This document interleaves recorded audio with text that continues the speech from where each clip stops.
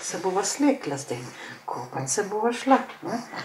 Med eh, samim kopanjem se z otrokom pogovarjamo. Ja, ah, na zdravje, ah, na zdravje, se bomo hitro pokrili.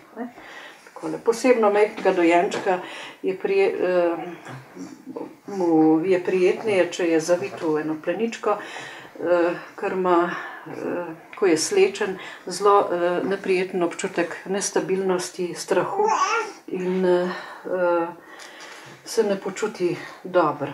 Če pa je zavit, pokrit z eno pleničko, eh, potem je, se počuti varnega in zaradi tega tudi eh, on eh, pri tem delu bolj uživa. Ne.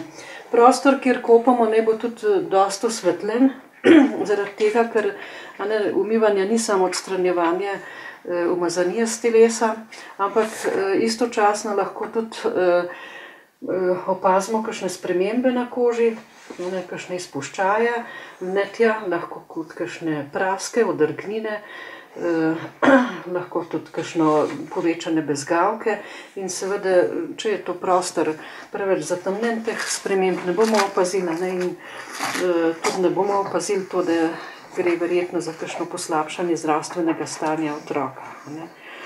Eh, No, če je otrok pokakan, seveda prej uh, umijemo, uh, v posebni posodi imamo vodo, s katero umijamo ta prvo uh, pač ritko in spolovila, uh, in potem se lotimo uh, umivanj.